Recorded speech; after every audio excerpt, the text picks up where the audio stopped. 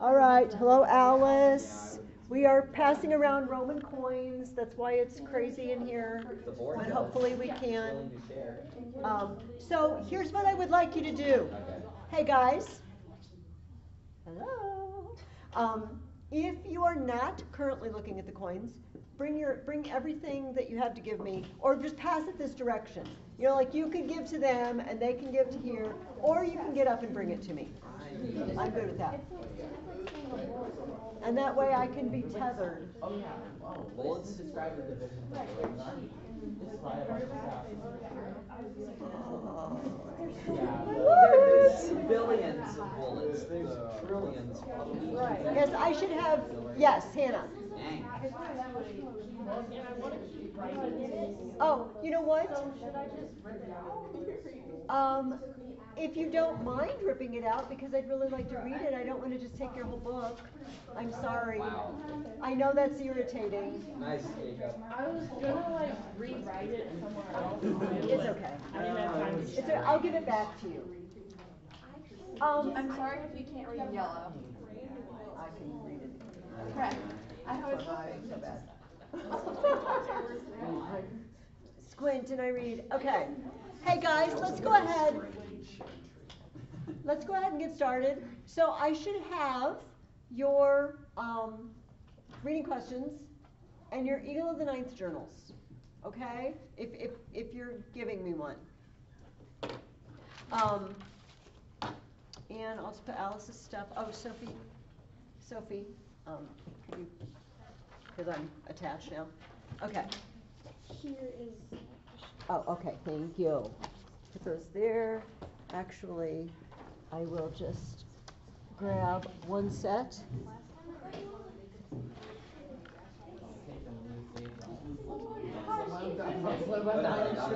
Okay, so, hey, guys, guys, do you think it's possible for me to talk and for you to listen and look at the coins at the same time? Do you, Not with Ethan. What? probably not. Wait, what? I wondered if I could, if you could look at coins and listen at the same time. Yes. Okay, he was very sure of that. Okay. All right, well, I'm gonna start in just because we've got Sure. time's a burning. We only have one more time. Does anybody know, I was asking Carl this earlier, so last, next week is our last week of classes, but on the calendar I received, the week after that, it said end of year celebration, Mhm. the- on May fifth. So are we actually going to see each other two more times after today? No, I'm not. Ask my mom. Okay, I will ask, I will ask. Nobody seems to be quite sure, and. It's a potluck, the end of the year celebration's a potluck. And see if you can come, if you don't, if you can't, Okay, then. okay. Yeah. Um, okay, we will, we will find out. We, we are distracted today, just so you don't think I'm really, really terrible, because I brought in Roman coins, my son got me a set of Roman coins, and we're looking at them while I set up the computer, but then now I wanna talk and, and- but people are distracted, but it's okay. So I'm just gonna let people be distracted, I, it's bad. Um, so I asked you, on your reading questions, uh, what three tools used by Rome to conquer the world and govern the world? You remember? Tools. Ooh, ooh. they use. Hold on, I live. Ella has been chosen. Uh, they had an army. They had an army, They had law, they had law, and they had um, like architecture and um, That's exactly what I language. said. yes. Ethan, Ethan really wants to get in on this, yes. Okay, I was gonna say, gr- great buildings, they Yes. erected great buildings. They had a lang- a good language, like Latin. Yes. And then they had good roads. Okay, so yes, all of the above. I'm going to read directly out of the book, the, the portion that I was thinking of, because it sums up chapter 22 beautifully. To conquer the world, Rome needed an army. To rule it, she needed law. To civilize it, she needed great buildings by means of which the strength and might of her power should be known.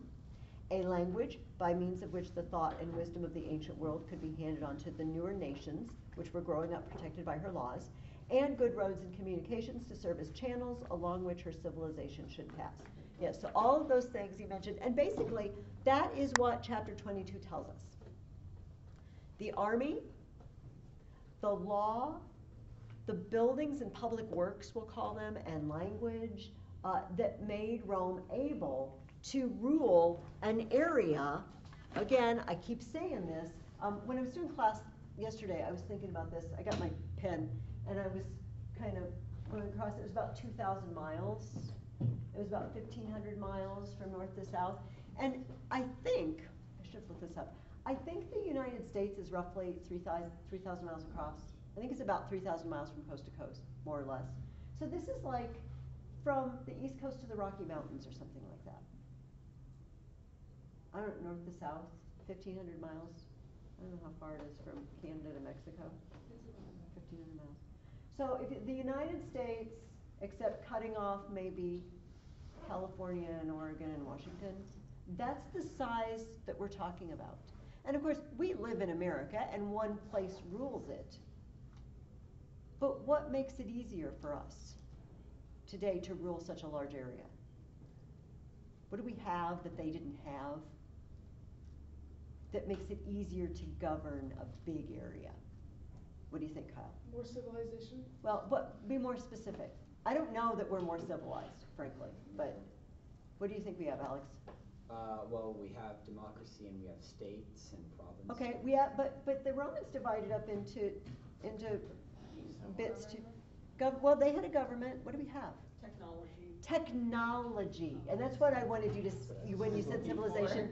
We can communicate fast, we can travel fast. You know, um, so the high schoolers this year, they read the Federalist and Anti-Federalist papers, and it was people arguing over whether or not they should vote to adopt the Constitution in our country. And one of the big arguments against setting up a republic at that time was, it's too big. You can't run a republic this big, because generally, thank you, it is, um, it was considered the rule, that's not the right word, um, the guidelines for how big a, a landmass you can govern with certain types of government, that if it's big, you need a monarchy, because you need one will to move quickly and act, and republics needed a smaller area. And so they were arguing, no, it's way too big, we can't be a republic. At that point, it was only up to the Mississippi River. But they didn't know roads would get better, communication would get better. Anyway, that was an aside. Um, so this is a huge area, but the Romans were so good at organization and doing useful things, building useful buildings, uh, structures, um, putting useful administrative organization into play. So the, I asked you about the army, I believe. Describe the divisions of the Roman army. I don't know, if somebody just off the top of their head, Alex totally knows the divisions of the Roman army, Um, lay it on us. a, a legion contained six thousand one hundred and twenty, um, soldiers. Um, six thousand of those are, uh, foot soldiers. Uh, cohorts, uh, there were ten cohorts in a legion, so that would be about six hundred twelve people per Mhm. co- co- uh, cohort. Auxiliaries were, um, the non-Romans of the army, uh, many times they could be drafted. Yes. And something about the auxiliaries, um, the non-Romans, eh, Dorothy Mills tells you that they don't let them serve in the province where they were recruited. So if you're British, you don't serve in Britain, you serve in Egypt, or you serve in the Middle East. Why? Because you you're not gonna fight your own country. Yeah, okay, you don't want to fight your own home country. Plus, your, your cousins live down the road, and maybe your cousins invite you to have a drink and say, hey, let's overthrow the Romans. You know, it would be dangerous. And so they remove you and let you serve somewhere else. Uh, so Marcus was in charge of a cohort. He was a cohort commander, right? So he was in charge of roughly 600 guys, which explains why Tribune Placidus, when he finds out that Marcus is a trib, uh, is a cohort commander, he's like, "Whoa, boom, you're more important than I am. You are over 600 guys, and I'm just basically a secretary. Kind of got him a little jealous there. Uh, so army, army to conquer, to rule, uh, law. Is that our next? I'm going back to that great paragraph. To civilize, uh, no, to rule it, she needed law, I'm sorry. Um, Roman law was applied to everyone in the empire equally. Now, let me make a condition on that. Roman citizens were treated differently than non-Roman citizens, okay? Roman citizenship gave you certain rights. But if I live here, or I live here, or I live here, or I live here, the laws are the same. You know, um, my, my dad lived in Washington State, and when my kids were little, we drove out to Washington State to see him. And in Oregon, um, because he lives in southern Washington, across from Portland. Anyway, we were in Portland, and they don't let you pump your own gas in Oregon. What? I know. I don't know. I don't know what to say to that. station? But, so we pull into a gas station and we, realize you have to go in and ask the attendant, which, okay, when I was a little girl, gas stations did that. They had people that came out. My grandpa never pumped his own gas. He always rang the bell and had the guy come out. Anyway. But nowadays, we just think, oh, you, self-serve. Gas stations are self-serve. And in Oregon, no, not so much. And so we went to another state and the law was slightly different about pumping gas. However, most of the laws are the same. You know, anywhere we travel in America, we think, we, we know we have the same constitution, we have the same legal mm-hmm. rights in America. There just might be small tweaked variations locally, and that's what it was like in the Roman Empire. You might have a small variation locally, but overall, everyone had the same legal system. Imagine how difficult it would be if every single state completely had their own law code, disconnected from every other state. So every time, I live in Illinois, every time, hey gentlemen, are we, we with me? I don't have to relocate you No, like very- auxiliary very troops. squeaky. This chair is very squeaky and I can't do anything. His chair's You really- could, you could move to another chair. Right. No, never say, I can't do anything. No, I There's can't. always a way. No, I mean, I can't move, otherwise it squeaks. I There's a- well, understand. there's a way. It's like when you wear the shoes that squeak after it rains and then you go in the grocery store and everybody's, you think everybody's looking at you because you squeak. So, Um, so I came over from Illinois, what if I had to study up on Iowa law?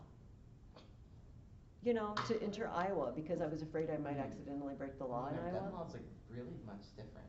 Like, we have constitu- we have constitutional We do have state constitutions, but they're, they're overseen by our federal government, so basically all law in America is the same, Yeah. is my point. And basically all law in the Roman Empire was the same, which made them one people and which made travel, um, e- easier in the sense that you don't have to study up on where you're going. Uh, another thing they did made travel easier. What are the Romans known for? Roads. Oh my goodness. They started building roads. The first major road is called the Appian Way, and it was just uh, in Italy. It was, I don't know, 300 miles, something like 300 miles? No, it was shorter than that. But it was a pretty major undertaking. The Romans would, um, don't if Alice see this. They would dig a trench. All right, this is a cross section. I'm looking along the trench. You, know what I mean? And then they'd fill the bottom with uh, kind of big, biggish rocks. Okay, I'm not gonna do this very, okay, these are my big rocks, all right? And then Oh, they'd that's a lot of fill with, with, um, small, uh, slightly smaller, these are my slightly smaller rocks. All right, and then, and then, and then like gravel, this is my gravel. And then, and then, if you had a local source of really good stone, they would lay slabs of stone on top. And it would be an honest to goodness paved road. But wait, there's more. They would, they would make the inner, the, the middle part slightly raised, and they would dig ditches on the side so that the water would run off. Oh. I know, because if it freezes, you know how it happens in the winter here. Uh, uh, water expands when it freezes, and then it cracks the, the pavement, and then we have to wait all summer while they're repairing, you know, patching it with asphalt. It's a pain. Um, was brilliant. So eventually, the Romans made fifty thousand miles of road Wonder how long like this. That's two times around the earth. Fifty thousand miles of networks of good Roman roads. Now, who's building these? Who, who's the, who's the workforce? Anybody but Ella and Ellen. Huh? Who's the workforce building the roads? Why can't? Kyle? Not the Roman, uh, citizens. Not the, uh, no, no, it is the Roman citizens. Uh, Ella, tell us. The soldiers. The soldiers. Mhm. The soldiers are, um, okay, I'm just gonna see if I Aw, the can, poor soldiers. if I can reach my That's drink. terrible. I, I can, fast as possible. Oh, oh, I can do it if you you need me to. Yes. You got it. Yes. Okay. The Roman soldiers aren't fighting all the time. If you're stationed somewhere and you don't have anything to do, they're not just gonna pay you to sit around. They're gonna put you to work. And one of the things they're gonna put you to work doing is building roads. That'd be a lot of work though. Fifty-five. No. I talked for three hours in the morning and I'm thirsty. I haven't talked for three hours yet, but I will. Um, language, that was another thing that she mentioned. Uh, having a common language really, really helps if you wanna govern a large area, right? Imagine if I spoke a different language than Illinois. Oh, I know. I don't know what kind. And kind of sucks. Since you guys are Latin, I, I guess you're all taking Latin. Most of you at least are taking Latin. Um, Latin is going to serve as an international language up until the 1700s, early 1800s. Think about it. Isaac Newton, when he comes up with his gravitational laws, he writes it in a book in Latin Oh, wow. Because all educated people knew Latin. If you lived in France or Germany or Spain, it didn't matter. You could read his book. So there's a there's a charming book. I'm so, I'm really all over the place today. I'm sorry. Has anyone here ever read the book Carry On, Mr. Bowditch? Yes. Okay. Do you remember Nathaniel Bowditch had to learn Latin to read Newton's Principia? Yeah. Okay? Because it was written in Latin. This served us well for, if you think about it, to 2,500 years, people were using Latin. So when you're doing your Latin, just think I am in a grand seems like tradition. only learning Latin. You're just like, oh, when I'm working, learn Latin. You know, all my free time, learn Latin. Yes, well, it, it stands you in good stead. Um, You know what? and great buildings. Great buildings was the other thing that we talked about. Um, I asked you what architectural breakthrough. Ethan. Ethan, bring it on. Yes, yes, you're right. Yes. What? Oh, The yes. arch. The arch, yes. I thought we were raising hands. I'm slowing down. Okay. The arch. So, why is this a big deal? Does anybody under, I mean, it's pretty, but other than that, why, It's a lot stronger than the doorway like Okay. this and the bridge like this. Okay. And it, it, it's stronger and it can do something else. It can, it, it makes something possible. I'm not asking this question very well. Let's, so let's do Ella's, the, the thing that you were talking about. So we have That's what she said. this. This is uh, like a Greek temple or something. Basically, we have posts with a big, heavy top, all right? It's all stone. stable. It's, it's not very stable, and it's heavy. This is heavy. Gravity wants to push it down, because it's so heavy. So you've got to have plenty, maybe I need an extra column here to hold it up. Oh my gosh. So, so if I had a stone roof here, our roof is now stone, the ceiling is stone. Ah. Now, what do I need, what do I need to make sure the roof doesn't fall down on my head? You need extra pillars. I need extra pillars. We've got one. I hope that we have One more, if there's, if the, if the roof is stone. And that means, imagine this room if it had twelve pillars. That'd get crowded. Okay, so we can't really see across the room anymore. We don't have a big open space like this. When you build an arch, okay, this is gonna be Mrs. Ferguson's art, it's not gonna be good. So you build, you, you have a wooden framework, and so you put the stones, you, you, hopefully they're closer together and better than that, all right? It's way too high arch. Yeah, yeah, I know. My husband is the structural engineer, I am not the structural engineer, so, okay, so then you get to this point, and you put in Curved the keystone. I, I, it's called the key, because it's the key to holding it all together. And they even make, you know, they have block sets for little kids now, you know, where you can build your own arch, and they put the keystone in, and it holds itself together. The force, the downward force runs into the sides, it's very stable, and you don't need a pillar to hold it up. Sometimes they might put an extra, uh, support over on the side, you know, to run some of the extra forces through the ground.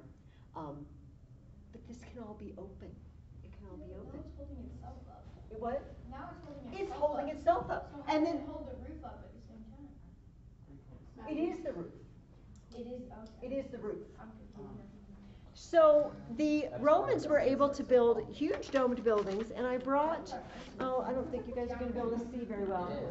Hey, guys, We're, we're counting up the, we're doing the. I was ready. Oh, okay, The okay. average one, you know, for the question. oh, yes, you're doing your math, the math question that I asked you. Um, hang, hang on, I brought my cool don't tell me book. That's another Roman poems book. No, Well, no. Did you say, tell me it's not?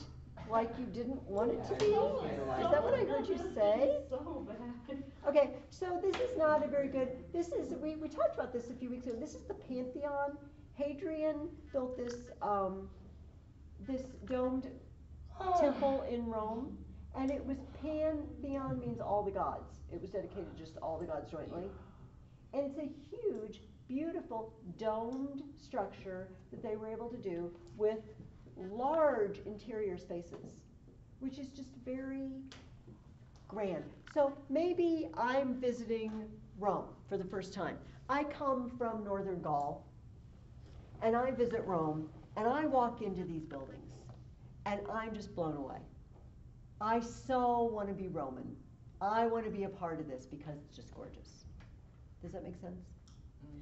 Uh, the other thing they used arches for were, um, well, th- that was the second, that was the second half of this question. What structure did they build on a larger scale than any previous? Hannah, bridges Aqueducts. and aqueducts, yes, which is sort of like a bridge. Uh, off, when it crosses a river, it's like a bridge. Um, so, bridges, we know what bridges are. Aqueducts. This is an easy question. What do they carry? Water. Soda. So why Rome is next to a river? Why do they need water brought in? Cause there's. Plants. Okay, because they're thirsty plants. Kyle, I was these the like the, uh, livestock. livestock, Baths. baths How How about about to drink? to drink. So here's the thing: what happens when a town is next to a river? What happens to the river? Flood. The river I gets could flood. messy. It gets messy. Cause you know what, we, we wash all our poo and stuff into the river. I'm Ew. sorry, but we do, we do. And the Romans had, the Romans had public toilets, they had, which were not, like, didn't have stalls. Which I'm just, mm, like, I just have to hold it the whole time I was in Rome, I just don't think I could do that. But they had, so a stone seat, and you sit on it, and this is important, this is good. And water, water would flow through the trench underneath to Oh. rinse it all out, so it didn't smell. And it was like, you know how outhouses are, we've all used a porta potty. You. You know, With okay, those it's smells, gross. those smell. And so the water would go in this trough and it would rinse it all, but it has to rinse it somewhere. And it would rinse it into a sewer system, just like we have a sewer system under the ground, and it would rinse it out into the Tiber River. So we don't wanna drink that anymore. We probably don't wanna, we don't wanna wash our clothes in it. Let's bring water in. So eventually they had ten aqueducts bringing water in from mostly north of, well, more, mostly the, uh, east of Italy, or east of Rome.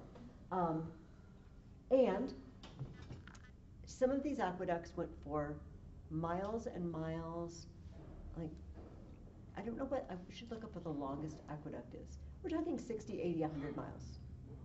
A long thing. Not, not briefly. I, I hope I'm not lying to you. I'll have to look this up. That book I was just looking in, it's not a poem book. It didn't tell me how long the longest aqueduct is. Now, what happens if I take my water from my jug and I pour it into the middle of this table? It's gonna go. Land on our laps. Okay, is it gonna go any particular direction? No. Simi? Not unless it's tilted. Oh, do you mean water won't go in a certain direction unless it's tilted? Yeah. Oh my god. What if I want my water to go fifty miles away through an aqueduct? It's got to be slightly tilted the entire length. I'm, I've got to figure that out as a Roman engineer.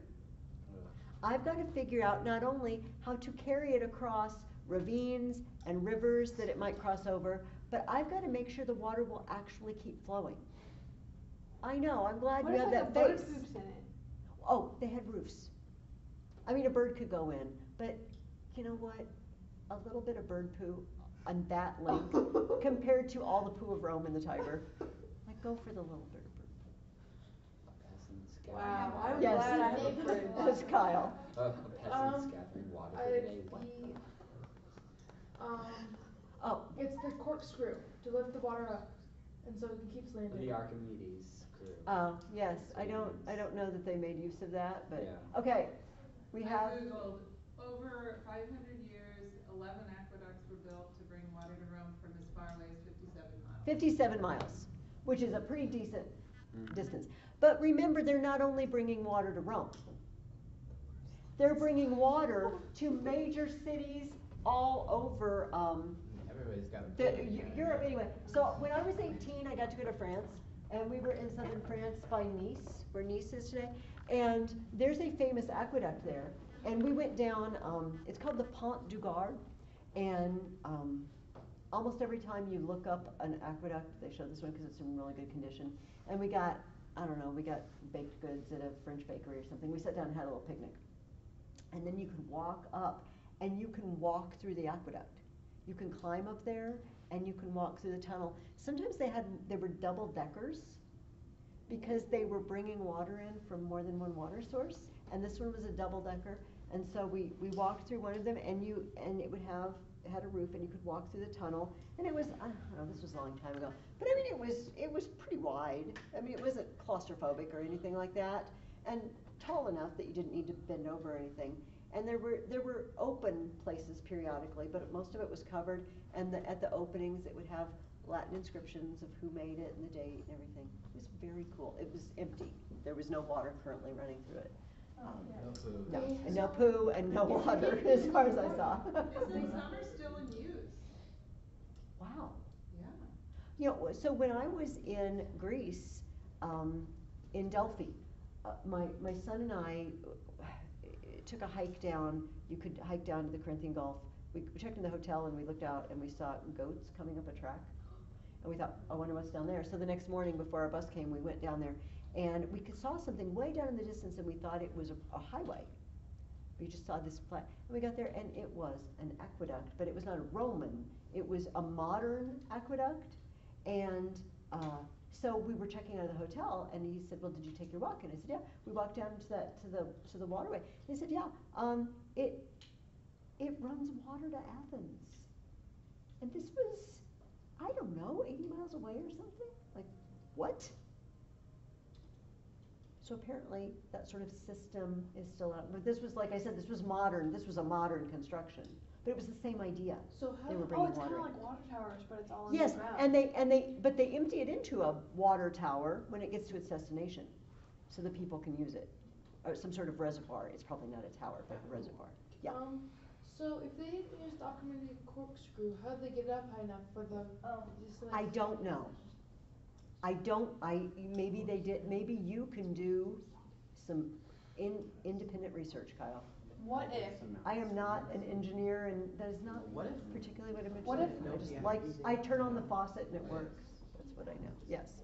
what if, um, like they built one from the top of a mountain, like, or, and then like, as Oh. the summer came, the snow melted, or like some of the snow melted and then it rained down. That could, that could work.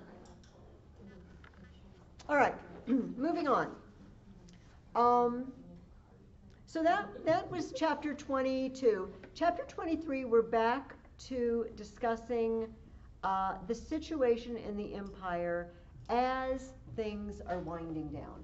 So we are, the dates they gave you was one eighty to two eighty-four, and you've been doing your math. So, I'm gonna, I'm gonna let this table, No, but I did it too. Yeah, we all did it. It's okay, I'll sacrifice. Yeah, yeah. All right, so you, you two get the, all the rest of the, the rest of the questions. Okay. Okay. There's only two more questions, but, Okay. okay, so how many emperors ruled from one eighty to two eighty-four? That was the first question. My bad. Twenty-nine, do some math and figure out the average, do it, what, Point six. three point six? Which is about a little more than three and a half years. Three, I got, I got three and three fifths of a year. I, I just Yeah, use that's. Depends on how- Three decimal. point six is three Okay. fifths. Oh, yes, yes. Okay, so, that's not good. If you get a new ruler every three and a half years. Why were they switching out so fast? They were dying. Only, only four. And they weren't dying naturally. Only four of the twenty-nine died. Only Yeah. four who died of natural causes. People were coming in, wiping out the previous ruler. Uh, who was doing a lot of the wiping out? Do you remember? You, Alex? The Praetorian. The Praetorian Guard. It's like the Secret Service just starts killing off presidents and making new presidents. What? But you know what? They were strong, they were powerful, they had weapons, and they had the whole army at their backs. This is not a good time. This is not a good time in Roman history. I mean, it was bad. The year 69 was really bad when we had four emperors in one year. It never got that bad again, but it was pretty bad. Yeah, Alex. Um, and it got so bad that the Praetorian Guard sold the, um, title of Yes. Oh, emperor. yeah. Oh To the yeah, highest to the bidder. highest bidder. Can you imagine? So- We're auctioning off the emperorship. It's like it's on eBay, and you can go buy the emperorship. Who wants to get killed in three years? Sign it right here. Who's the Yeah. most way to get this? I wouldn't want it. Crazy. Pretty much So, just uh, whoever has the most money, because if you're the emperor, then you get money, so it's just like, yes. use all your money and then you get it, I don't know. But apparently. like more money. Then die in three years. Yes, and then die in three years. Maybe if you're like really old, maybe. I never died. Like you're gonna die in three years anyway. At any rate, Might as well finish well. it was a bad time, and we're talking about a century here. And you can see how things are falling apart. Remember, we talked about Trajan, where the empire reached its greatest extent. And after that, it's just gonna start shrinking. I need to send, mm, I'm gonna try to remember to email this out to you. I found a thing on the internet. It's an animated Roman map, and it has a timeline, and it shows it expanding, expanding, and you can watch it shrink in again, and you can watch the provinces get lost. I, I will try to remember. Try to remember. If one of you thinks of it, you could email me if you don't get the link and say, Mrs. Ferguson, you said you'd send us a link, but you didn't do it. Cause your brain doesn't hold anything long enough to. I can remember all this stuff, but I can't remember. All right, breakfast. it's enough iron, I don't know. So, eventually, we got, are we with me? I have to, I have to save, I have another class after this. So Okay. my throat will be all gravelly if I raise my voice too much. Um, eventually we get to an emperor named Diocletian. Diocletian had a plan. Which one of you wants the plan? I don't really like Uh, that oh, cliche. no. Oh, okay. Sorry. Yeah, we'll give it to Ellen, do Okay. the last one. Yes, do it, do it. Okay, he. Are we listening, guys? Yes. He was really um, full of himself, and he, you know, wanted people to worship him. But he realized that he couldn't rule all of like the whole old area by himself.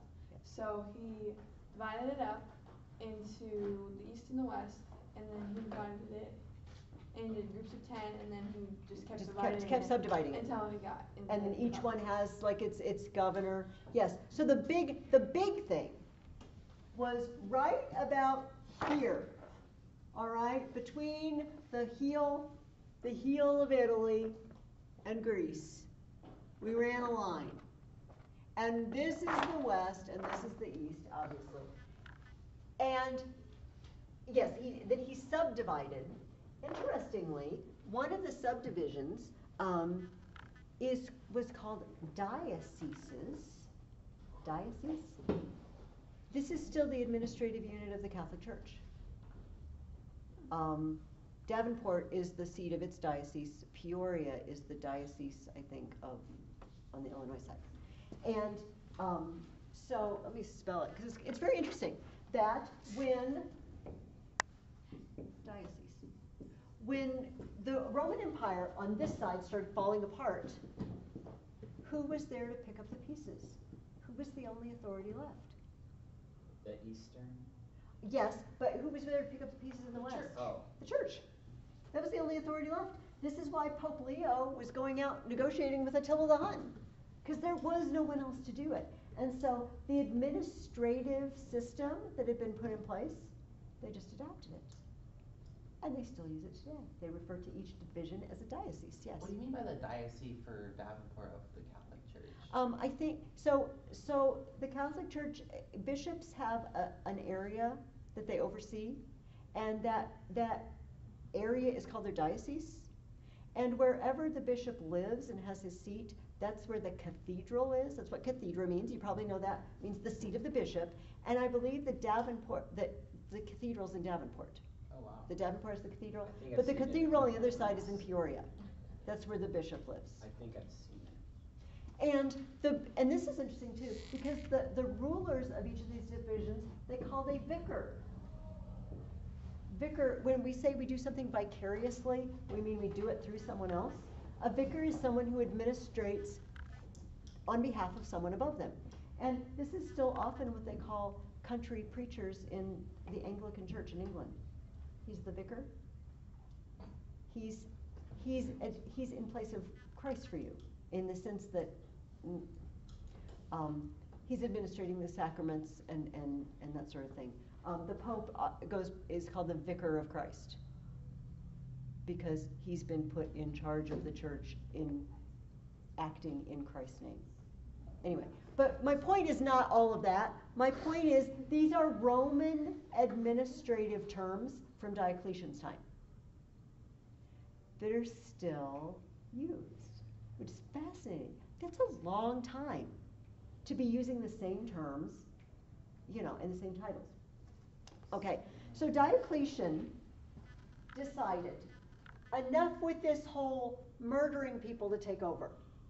This has got to stop, which is true. And so he said we're going to have two parts, and each part is going to have an emperor. And they're called the Augustus. There's an Augustus of the East and an Augustus of the West. And then there's going to be like a vice Augustus, all right, like vice president, and he's the Caesar.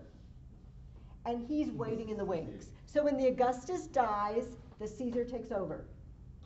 He becomes the Augustus and picks a new Oh, Caesar. we still use that. You know, so we just, yeah, yes, yeah. we have a vice president to step in. And so Diocletian set this system up, like, we're good, we're good, and then he retired.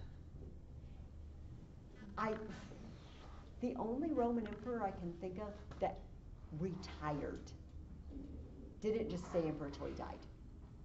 He He retired. probably didn't want to push it. Yeah, I suppose so. And he made, he was, okay, I think the Eastern, Who? Diocletian. Diocletian was the Eastern. Okay, and he made his Western counterpart retire too. He kind of forced him into retirement, so the Caesars could take over and they could make the, the system work, all right? However, the emperor, the Augustus on this side, um, was Constantius. He, which may or may not belong to one of my coins, okay?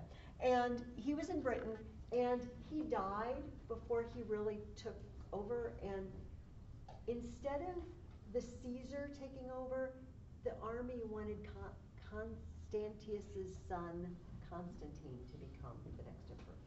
It was the old story, you know, the army says, oh, we love him, please make him emperor. And so, we had a problem, because we have the system breaking down already. Constantine, uh, and, you know, you might, I don't know, if I were Constantine, I, I'd like to think I would say, no, no, that's not the way we do things. I'm sorry, I'm glad you love me, but, but I can't become emperor because that's not the new rules. He didn't do that. But also, if a bunch of guys with weapons were standing around me telling me they wanted me to be emperor, know what I would do. Maybe I would do what they said. Anyway, Constantine took him up on it. So he comes down, but he's got a rival. He's got a rival in Maxentius, the, the, the legit ruler. The story, oh, oh, no, we're not. Wait, uh, is Maxentius, is he, was he the one who, um, was ruled with, uh, the, With Diocletian? Yeah. No, I think he was the next one he was under, Caesar, yeah. okay. Okay, so the story says that Constantine is marching with his army, and he is in Italy, and he's approaching the Milvian Bridge, and he's camped there with his army, and the night before, he has a dream, or he sees a vision, we don't know. And he sees a sign. We don't even know what the sign was. In a lot of stories, it's a cross.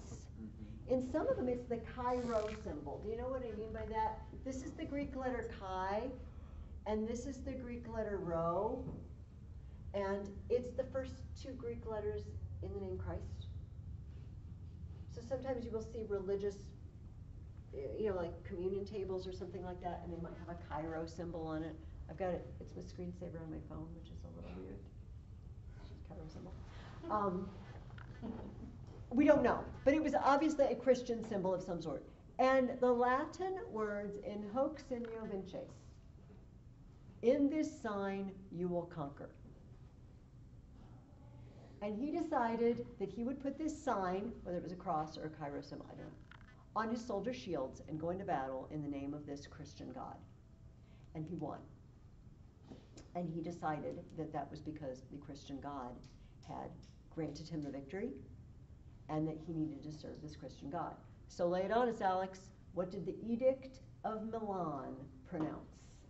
It uh, gave religious freedom to Christians. Christianity is legal. Constantine. Now- Not for long. Not for long. Only, but only for a little, a little, a little blip under Julian Apostate. So I want to read something though. I want to read to you, you know, I usually say to students, just imagine if last night when you went to bed, being a Christian may at any moment cost you your life. You probably have family members or friends who have been tortured or died because they were Christians, and then you woke up the next morning and found out it was legal. But it's even more pronounced when you learn Diocletian was one of the most rabid persecutors of Christians there was. The persecution under Diocletian was severe, horrible, violent. It's like I I liked history because I know God's doing something. I don't always know what he was doing. In the Bible, we know what he's doing because he says. Do you know what I mean? Like we know why the Israelites wipe out the Canaanites because God but I don't know why Joan of Arc led the soldiers of the front. You know what I mean? Like what what is God doing here? I don't know because I don't have any revelation from him. But He's doing something. he's doing something. I know he's doing something. It's almost like Satan knew his days were numbered, and he lashed out and he took as many down in that last persecution as he could. Um, so I brought my Fox's Book of Martyrs, which I had talked about a few weeks ago. I just want to read uh, just a very short section. I mean, there's a long Diocletian section, and it's it's not very good. But let me read this. It was during Diocletian's reign that Galerius, his adopted son and successor, agitated by his mother, who was a bigoted pagan, convinced the emperor to eliminate Christianity from the Roman Empire. The day scheduled to begin the bloody work was February 23, 303. It began in Nicomedia, the capital of Diocletian's Eastern Roman Empire. Early that morning, the chief of police and large numbers of officers and assistants made their way to the main Christian church and forced open its doors and ransacked the buildings and burned all its sacred books. Diocletian and Galerius had accompanied them to witness the beginning of the end of the Christian religion. Not satisfied with the burning of the books, they had the building leveled to the ground. Following this, Diocletian issued an edict that all Christian churches and books were to be destroyed. All Christians were to be arrested as traitors to the empire. When the edict was posted in a public place, a bold Christian immediately tore it down and denounced the name of the emperor for his injustice. For his public display of contempt for the emperor, he was arrested, tortured, and burned to death. Every Christian in Nicomedia was arrested and put into prison. Um, Galerius secretly ordered the imperial palace set on fire, and Christians blamed as the arsonists. From this, a general persecution started through the empire and lasted 10 years, during which thousands of Christians were martyred. Um, I'm just going to read just some random stuff. Many Christian houses were set on fire, with entire families perishing in the flames. Heavy stones were hung about the necks of many, and they were tied together and dra- driven into the Sea of Marmara. Racks, scourges, fire, swords, daggers, crosses, poison, and starvation were all used individually and collectively. In the region of, Phrygia, region of Phrygia which is this area here, um, I've lost my place. Oh, I'm on the wrong page. In the region of Phrygia, a city in which all the citizens were, were Christians was burned, and all the inhabitants were forced into the flames to perish. Um, finally, weary with the slaughter, the governors of several provinces appealed to the emperor on the basis that such conduct on the part of Romans was improper. Thus, many Christians were saved from death, but were mutilated in such ways as to make their lives miserable. Many had their ears cut off, their noses slit, one or both eyes put out, bones torn out of their sockets, and their flesh burned in conspicuous places. So they were ever marked as Christians. Okay, this goes on for pages. I, don't want to read more pages, but I just want you to, to understand this is, it, it had been bad at times. This was bad. And this was, remember, this is the year 303. Anybody remember from like classical conversations timelines, Edict of Milan? Yeah. The year? What year? Did- Was it in your, was it in something that you memorized? Oh, I forgot. That's okay. It's probably a history sentence. Three thirteen. No. Oh, we didn't. Sorry, I'm sorry. I have to move along. Sorry. Oh, I guess it's not, oh, I guess we have more time. I got you confused with the high schoolers that are done at a quarter till. Like I said, I'm not, my brain isn't working on all cylinders today.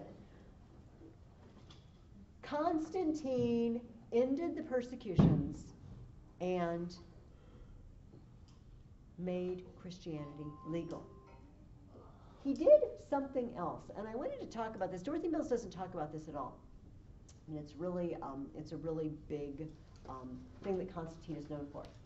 Um, but to tell you about that, I need to give you some backstory. Uh, well, for, actually, before I give the backstory, let me ask you a question. If becoming a Christian is going to cost me mutilation, torture, and death, very likely, am I just going to sign on lightly to become a Christian? Like, if I'm kind of lukewarm about it, am I going to go ahead and do it? Am I going to do it just because the neighbors, like, oh, I'm going to church because the neighbors go to church? No, no. I'm, I'm probably pretty hardcore. I love the Lord. I'm willing to die for him. Now, flip it over. If it's not only legal, but you know that the ruler of the empire really likes Christians, might some people be tempted to become Christians for reasons other than loving God? Mhm. All right. Maybe your neighbors will think more highly of you. Maybe you'll run in better social circles. Maybe you'll get a better job because the emperor will look favorably on you because you're a Christian. And we get a flood of people into the church. This is the downside. The downside of persecution is very easy to see. Nobody wants to, to be tortured and die. But one of the church fathers, his name was Tertullian, and he is famous for saying that the blood of the Christians is the seed of the church. That the more they killed them, the more it grew, strangely. But when they weren't being persecuted anymore and it got very easy to be a Christian, we got a lot of people coming in that didn't really care so much about God, so much as more, more about appearances. Does that make sense? And they brought with them some kind of odd ideas. And and you know, there weren't a lot of th- there were heresies. First of all, I'm going to use the term heresy. What is a heresy? We just don't. That's not a very polite term. People don't use that term anymore, but they still exist. Yes. Um, a, uh, an act or idea that goes against a religion. Okay. It's it's yes, and it's even more than that. It comes from the Greek word that means to choose. Hyrio means to choose. So heretics choose what they will believe and what they won't believe, Oh, okay. rather than what the church teaches. All right, we'll just we'll just pick what to believe, Oh, okay. and we'll interpret it our way. yeah, I. So it's like, um, for example, someone would believe that God, like John three sixteen, like He loves the world, like He came to save it. Um, and then you, and then they turn, like they don't believe in that they're the wrath of God.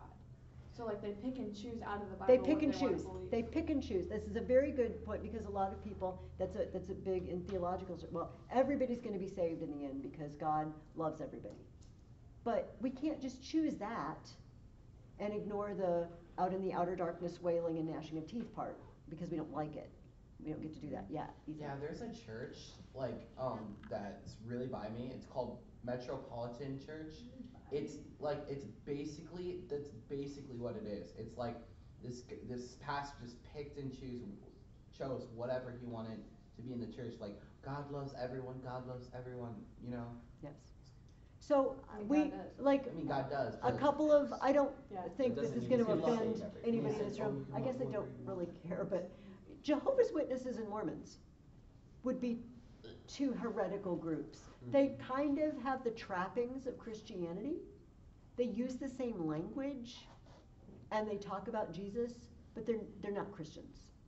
I'm, I'm, I'm, I'm just, I'm not Ooh. trying to be mean and say I hate Mor, I, I don't hate any Mormons, I'm sure they're nice people, but they're not Christians, it, because they don't believe in the divinity of Jesus and the virgin birth and all the, the things that Christians believe in. They don't believe in it. So they're heretics. Okay, so, but let's de- detach it from us and go back here. So we get lots of heresies arising. So one of the early, um, I'm just gonna go on this, riff on this, because we got plenty of time. Um, and you guys have probably heard about this a little bit, the Gnostics. Um, the Apostle John, who lived to a pretty old age, you know, wrote about this. People that deny that um, the material world is good, um, that only spirit is good. Spirit is good, but they've made a choice, haven't they?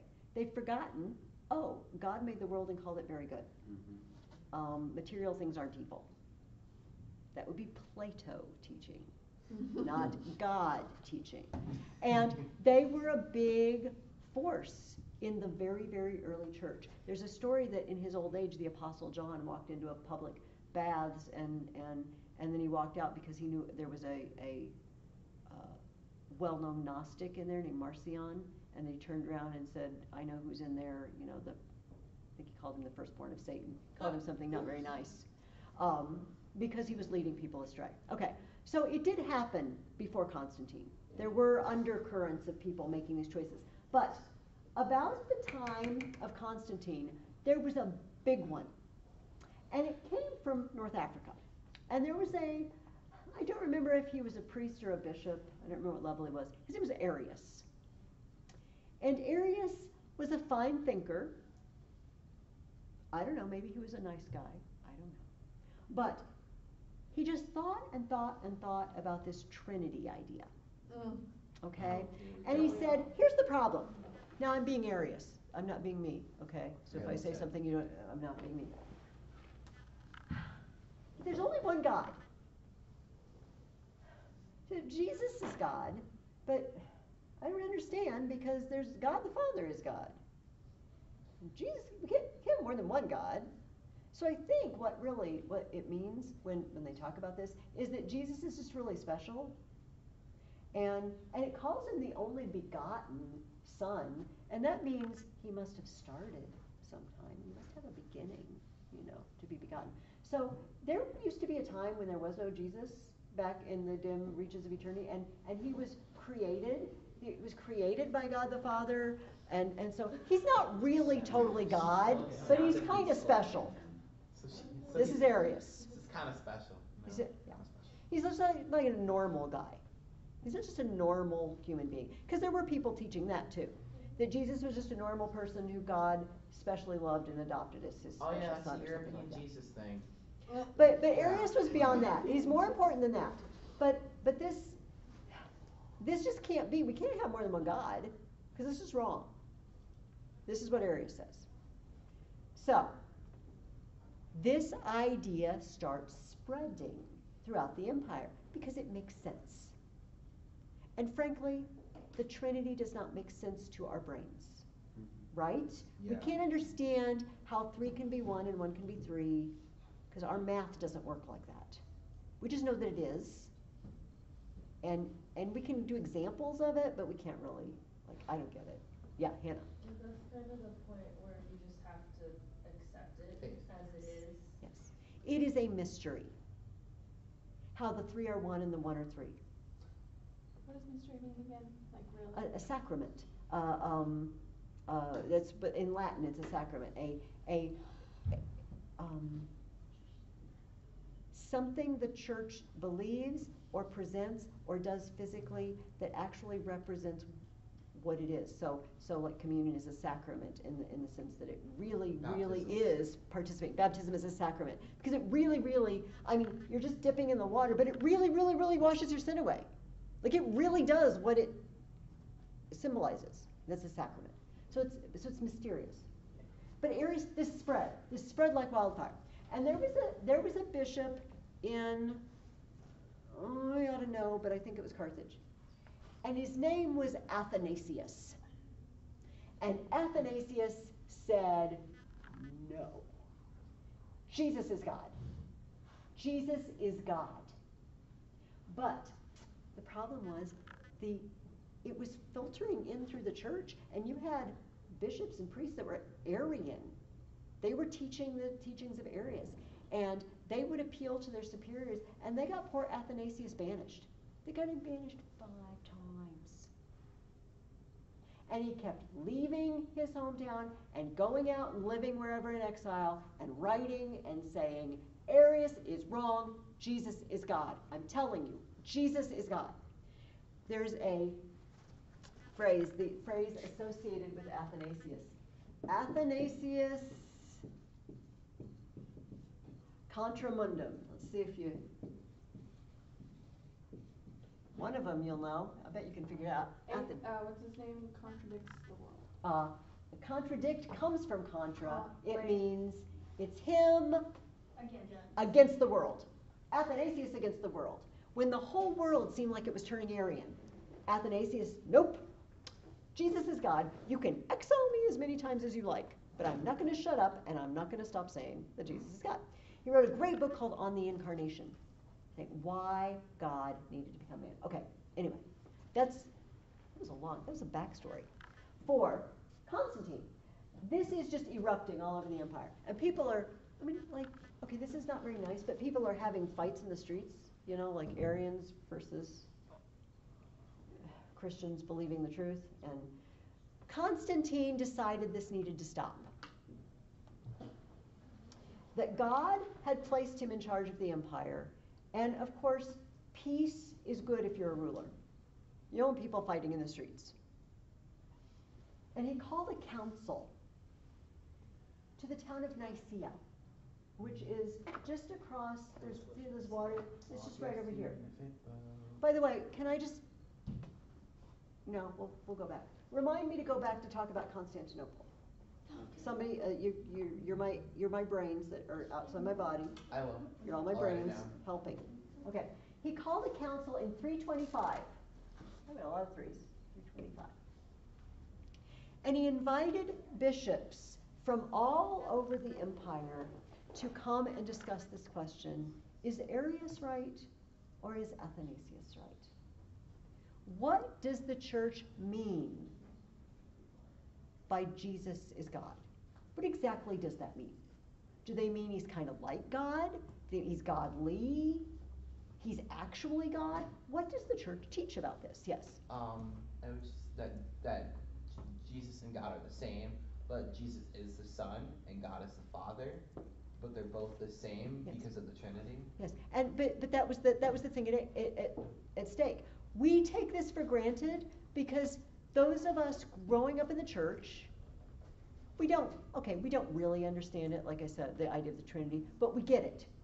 Jesus is completely in every way God, as much as God the Father is every way God. But they weren't sh- sure what the legit teaching was at this point. So he calls, I think it's over 300 bishops come. Many of them had been tortured under Diocletian. Many of them are sitting there with their ears cut off or the brands from the fire. This was important. They were willing to suffer and die for this church, for this truth. It meant a lot to them. They gathered them together, and Arius came and gave a spiel. If Arius came in person or sent his guys. Okay, this is what I think. And they brought, uh, I'm, I'm going to call them Orthodox with a small o, um, people believing the truth, you know, as it, as it was handed out from the apostles. Okay, and they gave their spiel. This is this is what we believe. So they decided to write down a statement of what the church teaches about this. And this statement is still in many, many churches said out loud every week when you gather to worship. It is called the Nicene Creed.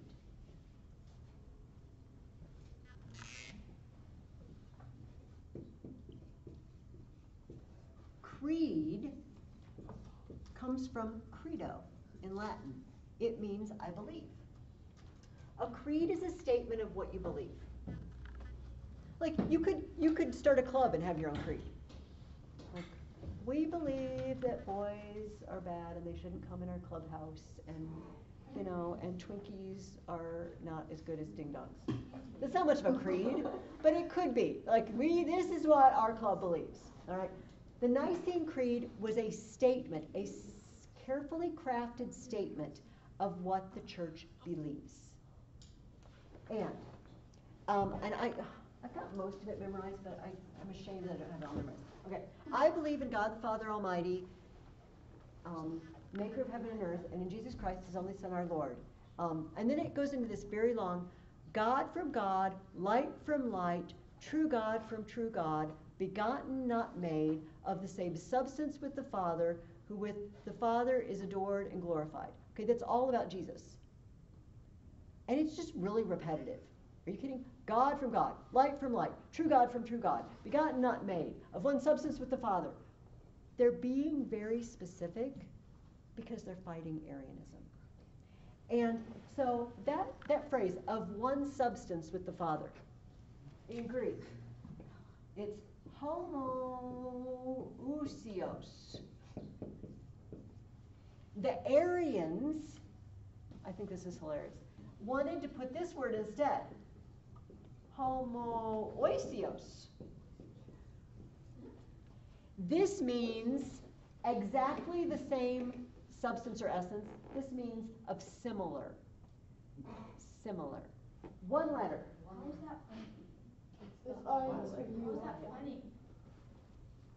Well, so there are historians who write histories of the church, but they're not Christians, you know, and they're just kind of mocking at it.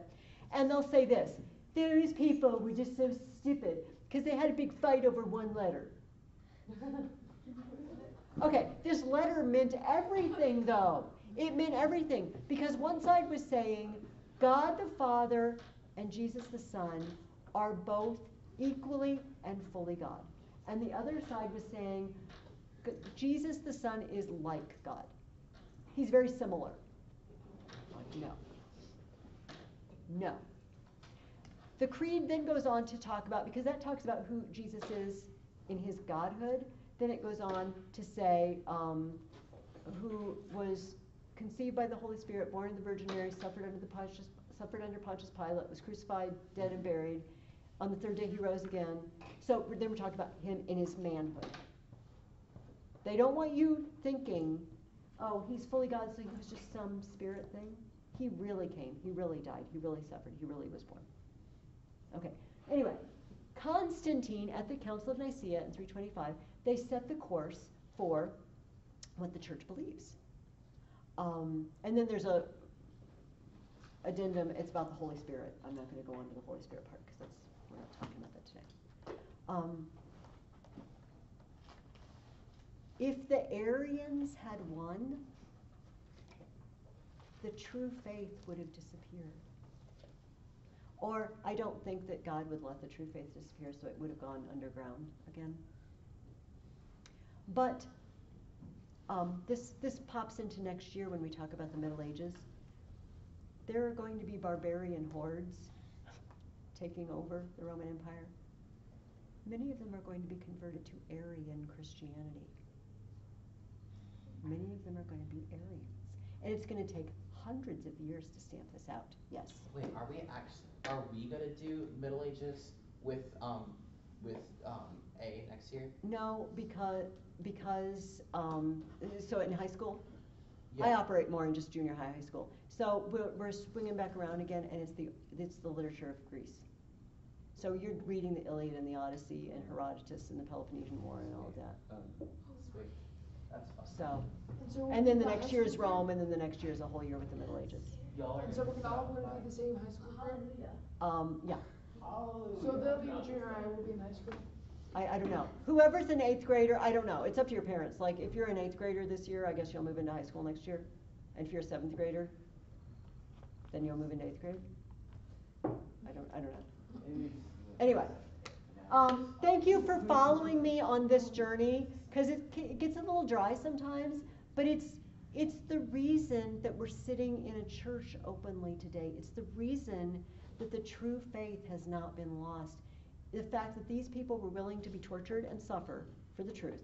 And the fact that people like Athanasius were willing to be exiled over and over and over to stand up for the simple fact that Jesus is God.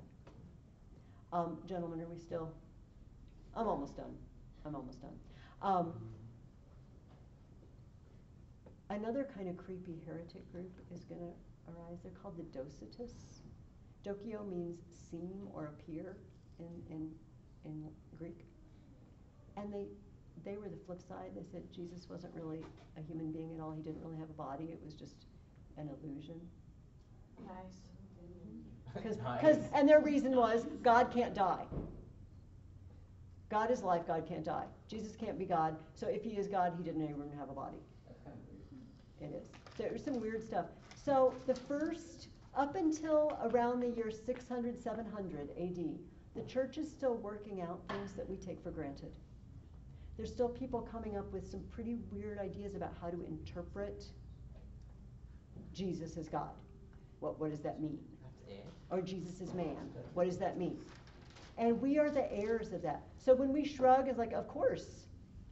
There were hundreds of years of debates. There were people being exiled from where they were bishop or where they were priest just for teaching what we accept as the truth now. Yes, Kyle? And the New Testament was not made yet? The New Testament was not put together. So the writings of the New Testament were already written, Yes. but they had not decided which books belonged in the Bible yet. Um, it was in the 300s, it was in that century that they finally came to a certain level of consensus that these are the books that belong in the Bible and these are not the books. And There were, five extra that were iffy.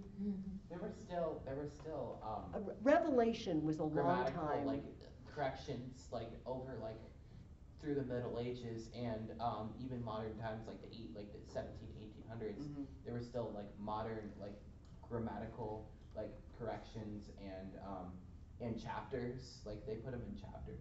Mm, yeah, there were no chapters. But yeah, at this point, like there was a famous book called The Shepherd of Hermas um, that early churches used as part of their church services. They read them in church, but it was later not accepted as part of the, the canon, they call it, which is, just means the rule, the, the books that we collect, that we decided, Was these have still a good scriptural authority. I'm sorry, what? Was it still good?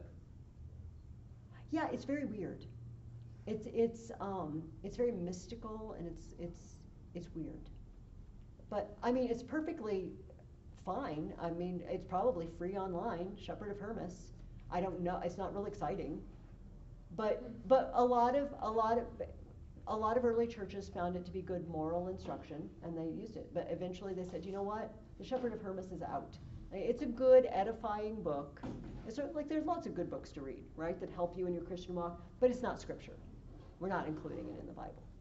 Um, so yeah, so different churches were appealing to different books. Revelation, like I said, was a was a toughie for a while. They weren't sure if that should be. Third John, the the third letter of John, there was like- some. There's already two Johns. Yeah, like we got enough John. No, that wasn't it. I think at some times they were just like, is this really written by the apostle? There was some, and then there are extra books that claim to be in, by one of the apostles, but later they decided they didn't really teach what the church believes, and they were probably not written by one of the apostles. And they, there's a Gospel of Thomas, I think, you know, like doubting Thomas, that didn't make the cut.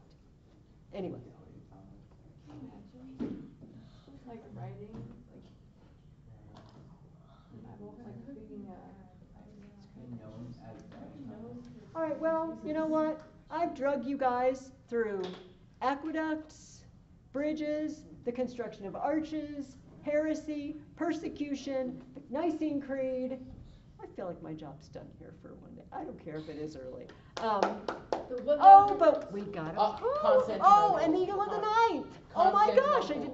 Oh, Constantinople. Constantinople. Never mind. Wait, sorry. I'm not what's the done. guy's name who thought of the idea, um, God is, Jesus is special, not God? Arius. A R I U S. Arius. Okay, so yes, thank you, outside, brain. Now, I'm not gonna go on and on about this though. Um, Constantine decided that, uh, for his new regime and his new Christian empire, we needed a new capital. And there had been a city long ago on, uh, the Black Sea here called Byzantium. It was a Greek colony.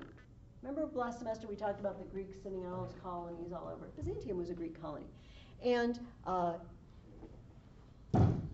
so he took over this city, he renamed it after himself, Constantinople, and uh, made it his new capital. This is important for various reasons, but the biggest reason it's important is remember we have the empire cut in half? Remember we have a west and east, which briefly under Constantine it was reunited, but they, they split it again. Eventually it was split. This side, and this is what you're going to read about this coming week, this side is not going to go well. Oops.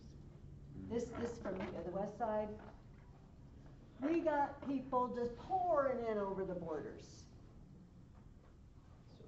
But over here, that doesn't happen. The east goes on, and it goes on. So the traditional date of the fall of Rome is 476.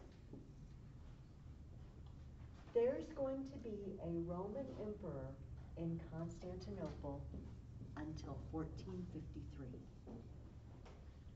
Another thousand years. So we always say the Roman Empire fell. Yeah, half of it fell. We just forget about the other half. Because there's a guy calling himself the Roman Emperor until 1452. Think about it. 1492 is Columbus. Whoa. Till Whoa. 40 years before. I know. When you say it like that, like, what? 40 years before Columbus sails, there's still a Roman emperor in Constantinople? Yes. Until the Turks come from the, and they take over all Turkey, so do the Turks, and they, uh, take down Constantinople. So what is Constantinople called today? Istanbul. Do you guys know the song? Istanbul, Constantinople, Yeah. it's Istanbul. I've heard that too many times, Okay. no. Yes. I've Um, only heard it like once. I was gonna say, if you didn't know it, I was gonna play it on my computer, but I won't force you to listen to it again. It's good to exercise too. It's on my iPad. Okay, anyway, What pages are reading? uh, you are reading, let me hand this out, and then let's talk about the Eagle of the Ninth. You're finishing the Dorothy Mills book. So here, Isabella, let me give you these two. And then if you guys, there should be one extra for Alice, and then if you guys would just kind of distribute.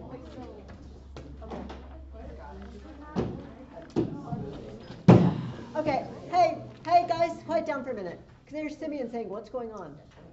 Yeah. We're, I'm handing out the reading questions for next week. Oh, I thought next week was. Well, see, I don't really do that. I mean, I'll give you She's some better. questions, You're just better. but it's, it's a take-home thing. Because I, I only get you for thirty weeks. I can't really spend two of them with you just sitting here writing. Yeah, Yes. should we get, when should we give you back the large questions? So we're not having blue books? Well, just a second, just a second. What do you Like, mean? uh, During Blue Book Week, when should we give you back, like, you're gonna give us like probably like large questions. and Yes. When should we give them back? Um, well, here's the thing, I didn't, um, I didn't ask. I need to find out if we're actually coming back that next week for some sort of celebration. It says on the calendar I was given that we do, but I don't know. Um, It's sort of like a big potluck, if you come, you come, if you can't make it. well, but I wanna make sure that's not Blue Book, w- that that's not next week, it's the week after. I the wanna week ver- No, it- Blue Book Week is next week, which is actual commu- community day where we all. Okay, and then there is another week. There is another week, which is You just can- like potluck. I will come and you can bring him then. Alright. Um, and by the way, there's no new, that you don't have any more writing assignment. Unless, okay, here's the thing, wait, wait, wait, wait, wait, because we can take a poll here, Oh, no. except it's not really a democracy. What? Like, we can take a poll, but I get to decide. Poll for what? If you like, I can email all of you blue book question, I don't like that, end of semester exam, all right, we're gonna call it semester exam. Um, and you could have two weeks to work on it. Mm. Instead of one or instead of zero? Instead of one. Okay, sure. So why don't I do that? Why don't I just, I will, I will do both. I will email them to you, and then I'll bring questions in case you didn't see your email, or, but you could go ahead and get started on them, because I do not have another paper, obviously, for you to work on. Because we're at the end, you know, you wouldn't really have time. All right, I've collected your journals, so all you need to do for next week is finish the Dorothy Mills book. And that seems like you've got a lot of time on your hands, because it's only, it's not very long. Yeah. So I feel like if I send you your questions, you could start working on those. Yes. This, okay. Now, somebody needs to get out a piece of paper and write down, send semester questions. I'll send you an email. Well, I would like to, to get a piece of paper as well. Oh, well, no, I don't need that. Here, I will write it on the back of Alice's paper. Just give me your pencil. No, I got it, I got it. It's just better. Send semester exam to Wednesday, junior high. Got it. Oh, thank you. Um, so let's, we finished up the Eagle of the Ninth. Was it a satisfying ending? Did you? Why do you think he didn't go back to Italy? Oh, um, because he taught his home in Britain. Why? Okay, yeah, I can, I can understand because he burnt his bird and he's like, he was just ready for something different and he found, he wa- he, he didn't think anything was wrong being a bird. What, what was one of the motivating factors, do you feel like, because he used to fantasize about, I'm gonna go back and get that farm. He said that he would always remember it. Do you think, okay, so at the beginning of the book, do you think if Marcus had been offered this opportunity to just go back to Italy at the beginning of the book, like right after he got injured, do you think he would have taken it? Yeah. What do you think changed in him over the book that made him, um, okay with not going back to that ancestral family? He got, he got, he got friends? Yeah. Definitely, yes. Oh. He, so he has his connections in Britain. Is there anything in his soul that has healed? That, His dad. His dad, like, his So might be afraid to go back. He, he found out, um, how, what happened to his dad. That, that must be such a great and terrifying feeling all at once. you know, cause it was a disappointing thing too, wasn't it? He found out the Ninth Legion was not the paragon of virtue that he hoped it had been. It was already described as rotten. It was already rotten, but you know what he found out? His dad wasn't rotten. His dad fought to the end, he didn't join the rebellion. And you know, I wonder if that Marcus at the beginning of the book, it's like, oh, I miss my dad. You, I, I mean, I've known people who've lost a parent young. Like, and to not know what happened to them on top of that would be awful. And so, you know, I wonder what happened, and then you hear rumors. Oh, that Ninth Hispano Legion, they're terrible, they probably just ran off. I don't think my dad would do that. I don't think my dad would do that. But all I have left of him is that home in Italy. Hmm. That's all I have left. I need to go back there, because all I have to hold on to from him.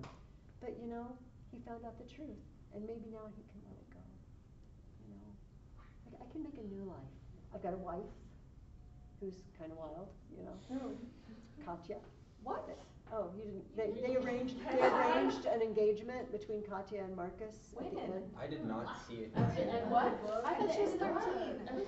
Oh, but that doesn't mean, okay, first of all, people married young, second of all, okay, hang on. There you go. I know, but what's wrong with, what's wrong with being friends? I'm like, this is great. What? We're friends. Okay, in I your not version, in your That just version, ruined that's everything. okay. They can- What the heck? I did not, I did not think it would go Hallmark on me. All right. But it did, apparently, and I missed it. Okay, so she says she would go anywhere with him. Hey, wait a minute, I gotta prove this to Ella. I'm sad now. Yeah. I'm so sorry, I just ruined this book for Whoa, you. okay. Well, Um, okay. Well, cause he asks, Uncle was- Aquila asks, will Cottia Oh, be it's content? I don't have that. You know, with what they're going to do. Um, I feel like there's, at some place they talk about the engagement with, with, what's his name, Kaeso? I thought, Her, her like, uncle? Um, he was more of like a father figure. Oh my gosh. This is so. No, Oh, no. Maybe there's different versions of the same book. no, they're not different versions. I'm sorry. Okay, I can't find.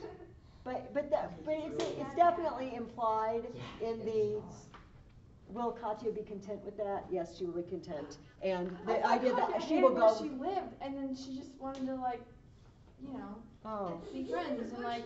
no, I'm sorry. I know. Okay, so.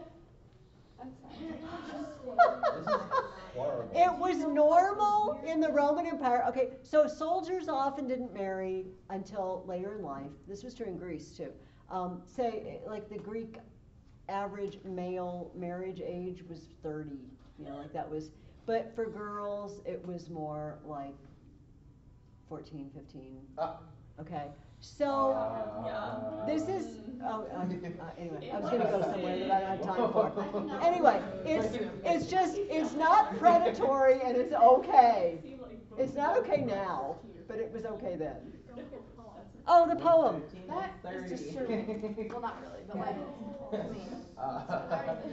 Wow. Sorry. I was really content with it. Okay, Yeah. I have a poem and a question.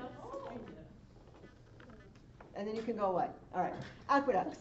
There was water in the hillsides, but not enough in town. The Romans found a clever way to bring that water down. Aqueducts, they called them. The concept was quite new. Arches topped with channels to run the water through. The water came from streams and lakes from places far away. Engineering marvels. Some still exist today. Say goodbye. Well, actually, I have a- one for next week too. Um, so here's my question. Do you have one for next year? No. You should look on Amazon. We should Um, all like. look so, same. Oh. Let me ask you, I, you guys are gonna vote, and it, it's gonna count, but not for you, it's gonna count for other people. Um, so I'm already, I'm putting together booklets for next year, but since the junior high kids just bump back and forth, I'm looking back at the books we read this year. And I would like to know your opinion, cause this is the first time I've used it, of the Josephus book. That was, a- That was good. I Did don't you, it was, uh, Simeon didn't like it. It was hard. I would say, Uh, I I like Josephus more than like trying to read. What trying to if- read, okay. like- Okay, Or I, Topia Basics. that book was hard Oh, for me to wow. read, just because, Guys, but Uh, it was so no. full. I'm trying to hear Ella. That book was so hard for me to read, but it was amazing because like I would go to youth group and we would be reading a book of the, a book of the Bible and I could just spill out everything about the author because I've read that book. Okay, so here's, let me, let me, um, okay, actually, go ahead. The first part with Bible stories was really good, but once it got into all the war stuff, it was just, Yeah. it felt like it lasted Yeah, forever. maybe like Okay. the first part of the book, cause, Yeah. 'cause, like Okay. the re- the other half was just like. uh, Yeah, but that's the important part that I It's like really wanted to get in because of the attack on Yeah. Rome, or the on Jerusalem. I would say since we've already read the Bible a couple times, well, I've read most of the Bible once, I've probably gone through it about twice.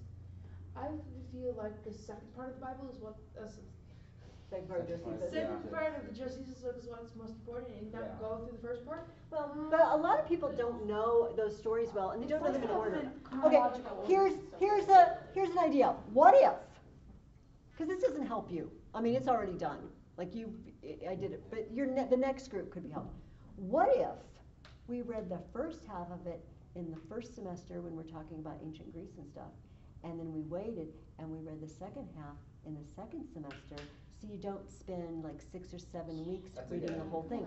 And then you could read about ancient Israel and the rise of Israel when we're talking about Yeah. Greece and Alexander, and then take a break, and then you wouldn't, it wouldn't feel so long. And you could spend like three weeks in one semester and three weeks in And another. also, until we have faces, that's a scarring book. You know what, I'm gonna, I had several people talk to me about that. You know, you would not believe the number, because I don't just randomly come up with these, I mean, I love these books, but also I usually consult places that are doing something similar to me online.